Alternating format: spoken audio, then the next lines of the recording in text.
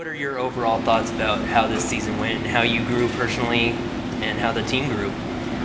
Um, I thought, you know, it was a great season, but I mean, we didn't get to the ultimate goal, which is kind of disappointing. But still, you know, we're gonna second place. You know, it's pretty good, and we're gonna try to be right back there next year. And for me personally, I thought, you know, I kind of got to the free throw line more, and as the season went on, I kind of, I'd say, became more, you know, poised. I guess I uh, became more focused and just stopped worrying about, you know, kind of what's all going around me, I guess.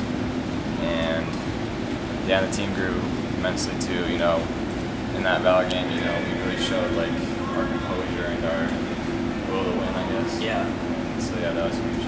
Yeah, that's got to be on the short list of favorite wins of the year, right? Yeah, definitely. You know, I thought Valor was definitely you know like one of the better teams. It was, besides the Air Academy, I thought they were you know, the best team in the league. And so to get a win against them in that you know that type of fashion, it was it was crazy.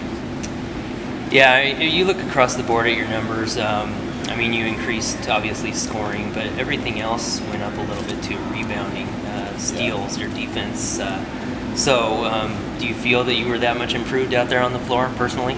Yeah, kind of. I mean, I don't really try to be a one-dimensional player. I, I think I can affect the game more than just scoring. I can, you know, I can rebound. I can find my teammates. I can play defense. So, yeah. I mean, I mean, I didn't try to focus too much on numbers. I just tried to